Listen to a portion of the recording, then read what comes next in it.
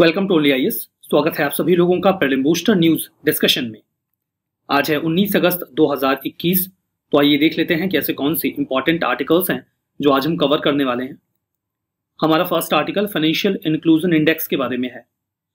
RBI ने अभी हाल ही में अपना पहला कंपोजिट फाइनेंशियल इंक्लूजन इंडेक्स जारी किया है। इसके पहले कि हम आगे बढ़ें, आप फाइनेंशियल इंक्लूजन का मतलब समझ लीजिए। फाइनेंशियल इंक्लूजन का सामान्य भाषा में मतलब ये होता है कि जो भी इंडिविजुअल्स हैं, यानी कि हम और आप, चाहे वो सोसाइटी के किसी भी स्ट्रेटा में रहते हो, और जो इंस्टीट्यूशंस हैं, उनको फाइनेंशियल सर्विसेज़ की इक्वल और इजी एक्सेस हो। फाइनेंशियल सर्विसेज़ में बैंकिंग की सर्विसेज़ आ जाएँगी इंश्योरेंस की सर्विसेज़ आ जाएँगी, और भी कई सारी सर्विसेज़ आ जाएँगी। सामान्य भाषा में कहूँ तो सभी लोगों के पास बैंक का अकाउंट हो, उसमें से ट्रांजेक्शन वगैरह कर सकते हो और अगर वो इंश्योरेंस वगैरह लेना चाहते हो तो ले सकते हो, आसानी से ले सकते हो। अगर ये सभी के लिए उपलब्ध है तो हम कहेंगे कि फाइनेंशियल इंक्लूजन बढ़िया है, अगर नहीं है तो कहेंगे कि खराब है। तो ये तो मतलब हुआ फाइनेंशियल इंक्लूजन का। इस इंडेक्स को रिलीज़ किया है आरबीआई ने। उद्देश्य यही है कि पूरे भारत में फाइनेंशियल इंक्लूजन किस बेहतर तक या किस स्तर तक हुआ है, इसकी जानकारी इकट्ठा की जाए। इसमें देखिए, तीन ब्रॉड पैरामीटर्स हैं। पहला तो एक्सेस किसकी एक्सेस फाइनेंशियल सर्विसेज़ की एक्सेस उसका वेटेज 35 परसेंट है। यूसेज फाइनेंशियल सर्विसेज़ का यूसेज 45 परसेंट इसका वेटेज है, और क्वालिटी फाइनेंशियल सर्विसेज़ जो दी जा रही है, उनकी क्वालिटी कैसी है? तो जो की वर्ड है फाइनेंशियल इंक्लूजन में दैट इज़ फाइनेंशियल सर्विसेज़ इसके अतिरिक्त देखिए, इन सभी डायमेंशन में कई सारे इंडिकेटर्स होंगे। 97 इंडिकेटर्स पर इवेल्युएशन किया जाएगा। अब जो इवेल्युएशन होगा, उसके बेसिस पे बातें समझते हैं। इसमें एक बहुत यूनिक फीचर है that is quality of financial inclusion जो फाइनेंशियल इंक्लूजन हो रहा है, यानी कि जो फाइनेंशियल सर्विसेज़ दी जा रही हैं, उनकी क्वालिटी कैसी है? इससे हमें ये पता चलेगा कि लोग फाइनेंशियल लिटरेसी रखते हैं कि नहीं? उनको वेरियस सर्विसेज़ के बारे में जानकारी है कि नहीं? है कंज्यूमर प्रोटेक्शन कैसा है? कहीं इनक्वलिटी तो नहीं है मतलब आपको परसेंटेज में दिख रहा है कि हाँ एटी आबादी फाइनेंशियल इंक्लूजन अवेल कर चुकी है। लेकिन वो एटी परसेंट जो अपर स्टेटा में है, केवल वही है। लोअर स्टेटा में ये पेनिट्रेट हो ही नहीं पा रहा। तो ये भी आपको देखना पड़ेगा। सर्विसेज़ की डेफिशिएंसी तो नहीं है कहीं। इन सभी चीज़ों को इवेलुएट किया जाएगा। जो स्कोर होगा वो ज़ीरो से हंड्रेड के बीच में दिया जाएगा। ज़ीरो का मतलब है कंप्लीट फाइनेंशियल एक्सक्लूजन मतलब फाइनेंशियल सर्विसेज़ नहीं मिल रही। सौ मिल गया तो फाइनेंशियल इंक्लूजन कंप्लीट इसे देखिए, हर साल जुलाई में पब्लिश किया जाएगा। बेस ईयर कोई भी नहीं होगा। हाँ इवेल्युएशन करने के लिए आपको कोई साल लेना है तो ले लीजिए, बाकी ऐसा कोई बेस ईयर इसका नहीं होगा। अभी क्या निकल के आया है? देखिए, मार्च 2021 तक का डेटा कवर किया गया। ये पता चला कि वेरियस पैरामीटर्स पर फाइनेंशियल इंक्लूजन 53.9 परसेंट है। ये पॉपुलेशन की बात मैं नहीं कर रहा हूँ, उसका परसेंटेज नहीं देख रहे हैं हम। रेदर हम देख रहे हैं, ये जो स्कोर है ये 53.9 आउट ऑफ़ 100 ये वेरियस पैरामीटर्स पे है।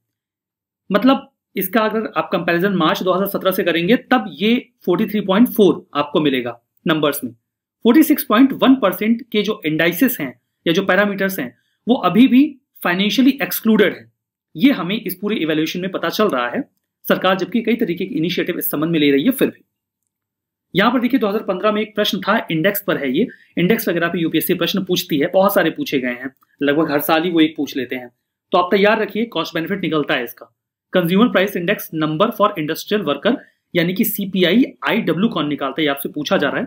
सही जवाब है सी यानी कि labour bureau that is the correct answer हमारा next article United Nations World Geospatial Information Congress के बारे में है। इसके पहले कि हम आगे बढ़े, आप जियो स्पेशल का मतलब समझ लीजिए। जैसे ज्योग्राफी होती है, उसमें वेरियस इंपॉर्टेंट लोकेशन होती हैं। सपोज़ करिए कि ये एक मॉन्यूमेंट है। तो इसकी जियो स्पेशल इंफॉर्मेशन ये होगी कि ये किस लोकेशन पर बेस्ड है। स्पेशल का मतलब यहाँ पर स्पेस यानी कि लोकेशन रिलेटेड होता है। अब जियो स्पेशल इंफॉर्मेशन जो होती है that can be kind of data ये डेटा जोग्राफिकल कोऑर्डिनेट्स के अकॉर्डिंग हो सकता है लाइक like इतने लैटिट्यूड और इतने लॉन्गिट्यूड पे ये मॉन्यूमेंट लोकेटेड है। तो ये इसकी जियो स्पेशल इंफॉर्मेशन होगी। इस संबंध में देखिए, अभी एक कांग्रेस जो कि दूसरी कांग्रेस है, वो इंडिया में 2022 में आयोजित की जाने वाली है। That's why it was in news तो ग्लोबल जियो स्पेशल इंफॉर्मेशन कम्युनिटी जो है, वो काफ़ी ईगर रह ईगर है राइट नाउ जो second United Nations World Geospatial Information Congress होना है, जिसे इंडिया ऑर्गेनाइज करेगा अक्टूबर 2022 में। अब देखिए ऑर्गेनाइज इसे मेनली किया जाता है United Nations Committee of Expert on Global Geospatial Information Management के द्वारा। शॉर्ट में इसे यूएन जीजीआईएम बोलते हैं। हर चार साल में एक बार इसे ऑर्गेनाइज करवाने की ज़िम्मेदारी इनके ऊपर होती है। लेकिन अभी कहाँ ऑर्गेनाइज करवाएँगे? क्या किसी आइलैंड पे ऑर्गेनाइज करवा देंगे क्या? तो कोई ना कोई होस्ट कंट्री तो होती है जो ओवरऑल ऑर्गेनाइज करवाने की ज़िम्मेदारी लेती है। इसके पहले ये ज़िम्मेदारी चाइना ने ली थी 2018 में। 2022 में ये ज़िम्मेदारी इंडिया के पास है। उद्देश्य ये है कि इंटरनेशनल लेवल पे हम कोलेबोरेशन इनहेंस करें, जो भी मेंबर स्टेट्स हैं या रिलेवेंट स्टेक होल्डर्स हैं, कि हम वेरियस इंपॉर्टेंट जो लोकेशन हैं, उनकी जियो स्पेशल इंफॉर्मेशन बढ़िया से कलेक्ट करें और उसे मैनेज करें।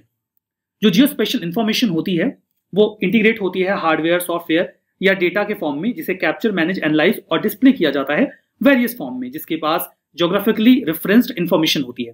इसकी फ़र्स्ट समिट हुई थी 2018 में। जो सेकंड समिट है, वो हैदराबाद में 2022 में होने वाली है।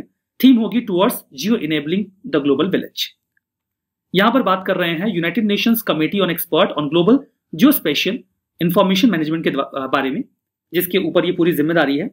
एक्चुअली में इस बॉडी को या इस कमेटी को स्टैब्लिश किया गया था 2011 में इकोसॉक के द्वारा। इकोसॉक का फुल फॉर्म है United Nations Economic and Social Council leading role ये प्ले करते हैं एजेंडा तैयार करते हैं कि कैसे जियो स्पेशल इंफॉर्मेशन का एरिया और बढ़िया से डेवलप हो और ग्लोबल चैलेंजेस को हम इसका इस्तेमाल करके हैंडल करें। जो कमेटी है उसमें गवर्नमेंट के एक्सपर्ट्स भी होते हैं, इसके अतिरिक्त इंटरनेशनल ऑर्गेनाइजेशन के भी एक्सपर्ट्स होते हैं। ये कम से कम एक बार मीटिंग ज़रूर करते हैं साल में और अपनी रिपोर्ट सीधे इकोसोक को सौंप देते हैं। हमारा नेक्स्ट आर्टिकल एक नई एल्गी की स्पीसीज के बारे में है। बॉटनिस्ट का एक समूह, जो कि सेंट्रल यूनिवर्सिटी ऑफ़ पंजाब से बिलोंग करता था भटिंडा उन्होंने एक एल्गल स्पीसीज को डिस्कवर किया है अंडमान निकोबार आइलैंड से। ये बहुत ही ब्राइट ग्रीन एल्गी है, जो एक अम्ब्रेला या मशरूम की तरह दिखता है। यहाँ पर देखिए इमेज में 20 से 40 मिलीमीटर इसका साइज़ मेजर किया गया है। इस नई एल्गल स्पीसीज को एक इमेजिनरी सी मरमेड के ऊपर नाम दिया गया है। एसिटा, बुलारिया जल कन्याकई जल कन्या इसमें आपको दिख रहा होगा, ये वो सी मरमेड हैं, कुछ ऐसे रिजेंबल करती हैं, और उन्हीं के नाम पे इस एल्गी को नाम दे दिया गया है। कैरेक्टरिस्टिक की बात करें तो देखिए, इसमें आपको एक जाइजेंटिक बहुत बड़ा सेल मिलता है, एक न्यूक्लियस के साथ। ये न्यूक्लियस एक रिजॉइड स्ट्रक्चर तैयार करता है। रिजॉइड स्ट्रक्चर एक्चुअली में प्लांट्स या फंगस में रूट की तरह स्ट्रक्चर होता है, जो उसे किसी चट्टान वगैरह पे पकड़ बनाने में हेल्प करता है। इसकी मदद से ही ये एल्गी जो शैलो रॉक्स होती हैं, उन पर अपनी पकड़ बनाता है। ये बहुत तेज़ी से बढ़ते हैं हाई रीजनरेटिव होते हैं हाईली रीजनरेटिव होते हैं, ठीक है? देखिए, ये जो वेरियस स्पीसीज न्यूज़ में आती है, इन पर यूपीएससी प्रश्न पूछा करती है। 2016 में प्रश्न से प्रश्न पूछा गया था कि बनाना की एक स्पीसीज बनाना प्लांट की एक स्पीसीज जिसकी हाइट लगभग 11 मीटर के आसपास होती है ऑरेंज कलर का फ्रूट पल्प होता है, ये कहाँ डिस्कवर किया गया है? और इसका सही जवाब था ए, अंडमान आइलैंड ठीक है? तो ऐसे प्रश्न पूछे जाते हैं, ये स्पीसीज भी अंडमान में मिली है तो आपको पता होना चाहिए, ऐसे प्रश्न पूछे जा सकते हैं आपसे। You must be prepare for that हमारा नेक्स्ट आर्टिकल महाराजा रंजीत सिंह जी के बारे में है। ये पहले रूलर थे सिंह सिख एम्पायर के। महाराजा रंजीत सिंह जी की एक ब्रोंज की जो प्रतिमा है, उसे अभी पाकिस्तान में खंडित कर दिया गया है वेंडलाइज कर दिया गया है, जिस पर इंडिया ने आपत्ति भी जताई है।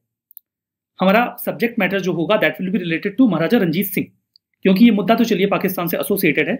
न्यूज़ में आया, आप जानते रहिए बट प्रश्न यहाँ से नहीं आएगा। प्रश्न महाराजा रंजीत सिंह जी से आ सकता है। इनका जन्म 13 नवंबर 1780 में हुआ था गुजरान वाला में, जो वर्तमान में पाकिस्तान में है। देखिए, पंजाब में एक ऐसा समय था, जब पूरा पंजाब 12 मिसल में डिवाइड था। ये मिसल छोटे छोटे प्रांत हुआ करते थे, जिसमें एक चीफ्टेन या सरदार उसे रूल करते थे। रंजीत सिंह जब प्रोमिनेंट हुए तो उन्होंने बाकी जो वॉरिंग मिसल थे, उनको जीत लिया और एक यूनिफाइड सिख एम्पायर तैयार किया जब उन्होंने 1799 में लाहौर को कंकर कर लिया, जीत लिया तो। मैं आपसे एक सवाल पूछता हूँ यहाँ पे। जब महाराजा रंजीत सिंह जी ने बाकी के मिसलों को जीत लिया तो आप ये बताइए कि वो खुद किस मिसल से बिलोंग करते थे? उस मिसल का नाम आप मुझे कमेंट बॉक्स में बताइएगा। इंपॉर्टेंट है समटाइम्स पूछा जाता है। देखिए, इन्हें लाना पंजाब के नाम से पुकारा जाता है या शेरे पंजाब? बिकॉज़ इन्होंने अफगान इन्वेडर्स को लाहौर में बुरी तरीके से पछाड़ा और ये उनकी कैपिटल बनी रही, उनकी मृत्यु तक। इनके जनरल थे हरि सिंह नालवा। उन्होंने फोर्ट ऑफ़ जमरुद बनाया था, जो कि खैबर पास के बिल्कुल मुहाने पे था, जिसकी मदद से चूँकि खैबर पास वो रास्ता था जहाँ से फॉरेन इन्वेडर्स अटैक करते थे, खैबर पास वर्तमान में आपको पाकिस्तान और अफ़गानिस्तान के बॉर्डर में मिलेगा। उस समय ये महाराजा रंजीत सिंह का एरिया हुआ करता था। उनकी मृत्यु के समय वो एकमात्र सॉवरन लीडर थे जो इंडिया में बचे थे। बाकी सबने ईस्ट इंडिया कंपनी के सामने घुटने टेक दिए थे। उन्होंने एक बहुत बड़ी संख्या में जो सेना थी, उसको तैयार कर रखा था। सिमिलरली यूरोपियन ऑफिसर्स को नियुक्त किया जाता था उनकी ट्रेनिंग के लिए। एक फ्रेंच जनरल थे जीन फ्रैंकविस एलार्ड उनको ज़िम्मेदारी दी गई थी कि वो आर्मी को मॉडरेट मॉडर्नाइज करें। रंजीत सिंह जी जो थे, वो एक ट्रांस रीजनल एम्पायर तैयार कर चुके थे, जिसमें कई सारे स्टेट्स आते थे। उसमें मुगल प्रोविंस का जो लाहौर मुल्तान था, इसके अलावा काबुल का कुछ हिस्सा और लगभग पूरा पेशावर रंजीत सिंह जी के एम्पायर का हिस्सा था। उनकी जो बाउंड्री थी, वो लद्दाख का रीजन कवर करती थी। लद्दाख जो है, जोरावर सिंह नाम के एक जनरल हुआ करते थे, जम्मू से। उन्होंने लद्दाख को जीता था महाराजा रंजीत सिंह जी के नाम पर। नॉर्थ ईस्ट का जो हिस्सा है वो लद्दाख का था। वहीं आप नॉर्थ ईस्ट में जाएँगे तो खैबर पास तक इनका एम्पायर फैला हुआ था और पंजनाथ साउथ में मिलेगा।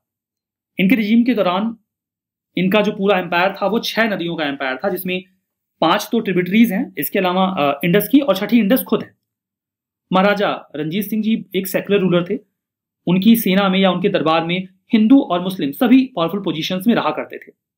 हरविंदर साहिब को उन्होंने ही, जो अमृतसर में है गोल्डन टेंपल में कन्वर्ट किया, उसे गोल्ड से कवर करके। तो ये सारी बातें महाराजा रंजीत सिंह जी के बारे में। हमारा next article startup women entrepreneur award 2021 के बारे में है। इस अवार्ड को अभी सरकार ने अनाउंस किया है। Parallelly Amrit Mahotsav Shri Shakti innovation challenge भी लॉन्च किया गया। अवार्ड की बात करें तो इसे ministry of electronics and IT ने नेस्कॉम और यूएन वुमेन के साथ मिलकर सेटअप किया है। उद्देश्य यह है कि महिलाओं में इंटरप्रेन्योरियल जो स्पिरिट है, उसे कल्टीवेट किया जाए। वो नेक्स्ट जनरेशन वाली जो महिलाएँ हैं, उनके लिए रोल मॉडल बन सकें, उन्हें गाइड कर सकें और उनके अंदर भी ये स्किल या ये स्पिरिट जगा सकें।